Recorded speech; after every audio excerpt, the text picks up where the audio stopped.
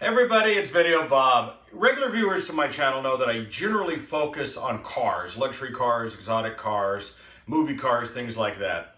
But something that a lot of car guys have in common is that we love mechanical devices, like watches and pens.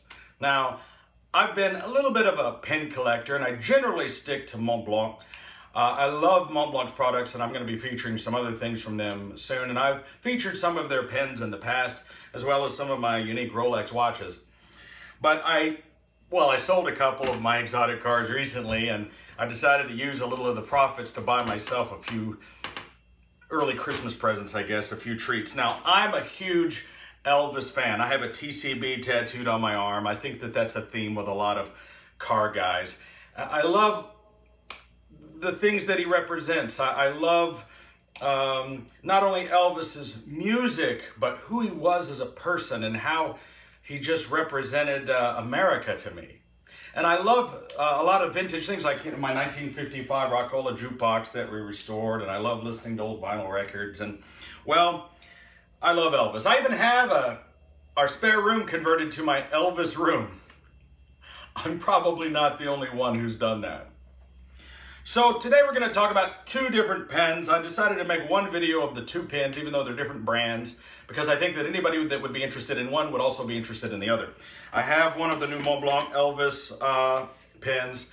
Uh, this particular one is the Rollerball. I couldn't get the fountain pen. They didn't have it available at the time. Um, but I think that the, the two pens are almost identical. The only difference is that one is going to have a rollerball uh, in the end instead of a nib.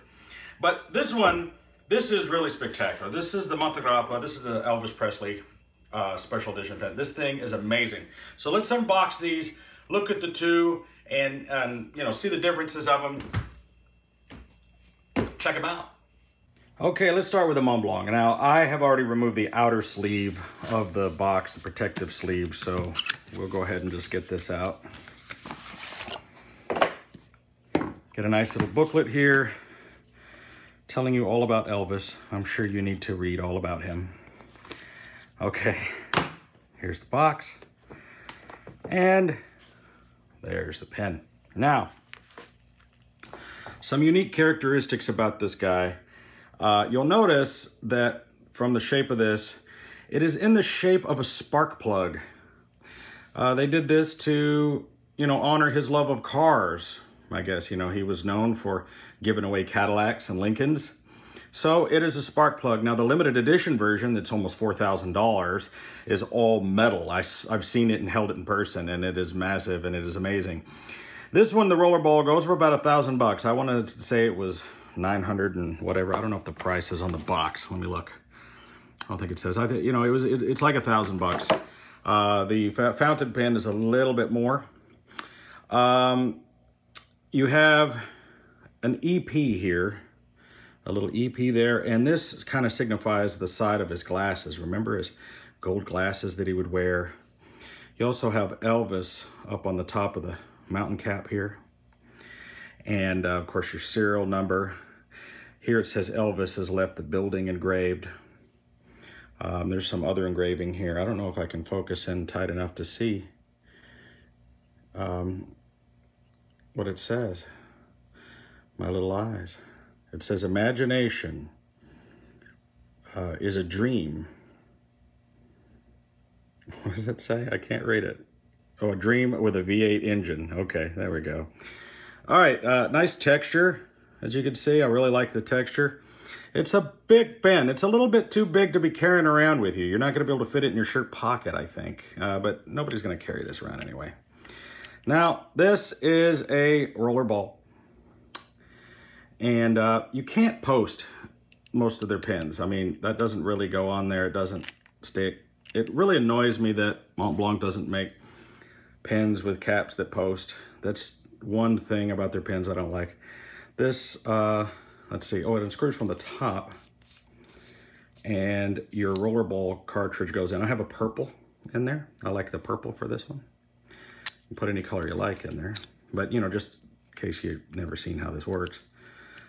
Um, the rollerball cartridges have a screw end on the end, as a threaded end, as you can see.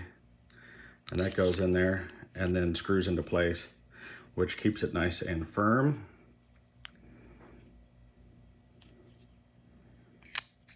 Now I will say, out of all Mont Blanc's pens, probably their roller balls are the best writing. You know, if I if I wanted to uh, write something on here, I'd say uh,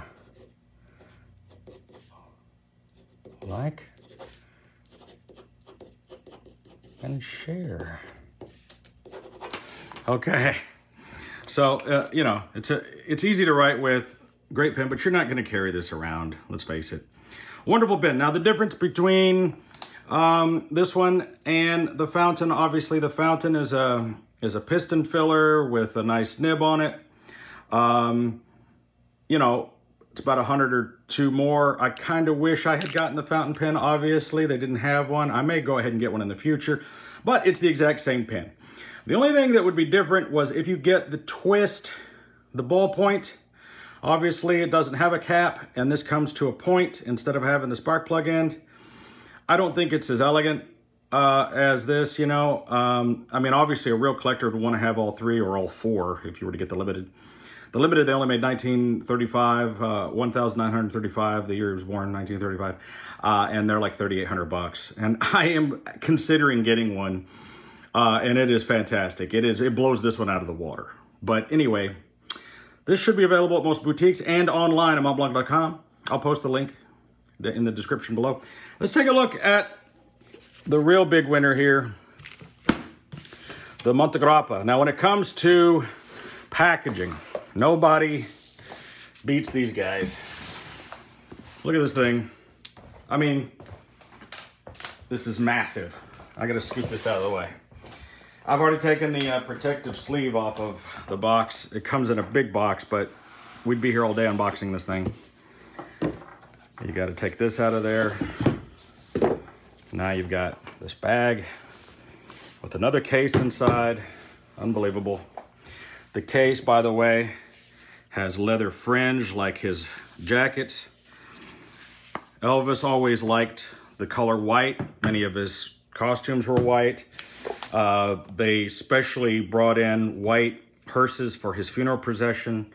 So when I think about Elvis, this is what I wanted to say about that other pen. And I should have it handy. Let me grab it.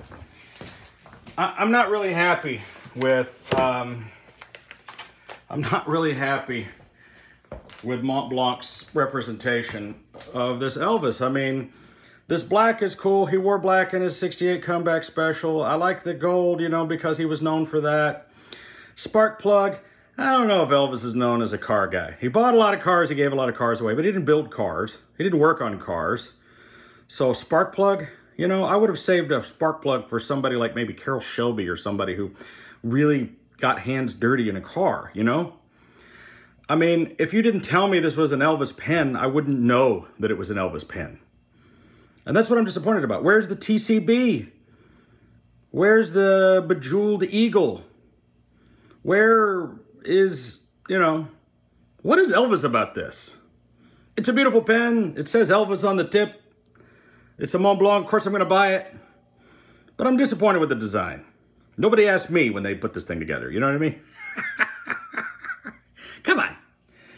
I'm going to show you a real Elvis pen. You want an Elvis pen? This is an Elvis pen. Look at this gorgeous thing. I, this box is something. Now, by the way, what am I supposed to do with this giant box? Come on, Montegrappa. It's beautiful, but this is too much. Look at this. You get the, then you pull this out. You've got this little pad to lay the pen down on. Then you've got a, yet another leather case. And the pen is inside this plastic bag here. And just real quickly, before we get to the pen, I'm going to tease you a little bit. Look at this. You lift this up you got all this stuff under here. You've got, you've got your books, all this information, more books, more information. Comes with some cartridges because this is a cartridge and a converter as well. But what a what a presentation, right? Like, look at all of this. Isn't that something? Okay, scoot this back. All right. This is how you make an Elvis pin. First of all, right there, look, Elvis. Right? Look at that TCB. Look at the jewels. Right? Check out the top of that. There he is in his signature white jumpsuit singing. All right? Look at the representation of, of, of his Aloha suit. And we're going to get to this here in just a second. But isn't that something? I wonder if I can if I can zoom in a little bit more for you. Look at the TCB with the jewels. Now this pen is a retail of about $3,000. I picked it up for about 1500 bucks, or rather a little over a thousand pounds. I'm not sure if it's currently available uh, from Montegrappa. I found it on eBay actually. You notice this white pearlescent celluloid. These are all made by hand. Look at the pearl shine. Oh my God, it's beautiful. Right? This is uh, one of 500 pieces made in Italy by hand. Okay, now, look at this. It's gorgeous. Wait till you see this nib. Now, I want to show you something here. I want to show you an attention to detail. You can post this cap. Look at how it lines up perfectly. Look at that. With the nib, with it's it's perfect. Look at that. Look at the alignment there, right? Okay. Check out this nib. Let me zoom in on this. Can you see that? This is a gold medium ballpoint nib with Elvis right there. Now, this is a, uh, I forget, does it, I think it unscrews here. I've got it on there really tight. Yes, it comes off here. You can use a cartridge or a converter, comes with both. I have a Mont Blanc purple cartridge in there. I, I like Mont Blanc's ink. Okay. But you can use the converter if you like, or the cartridge. And it's, you know, give me a sec here. Let me grab this piece of paper here.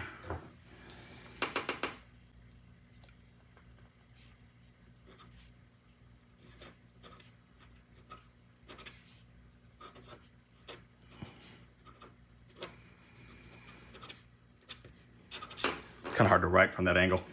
But anyway, you can see you've got you've got some great control. It writes wonderfully.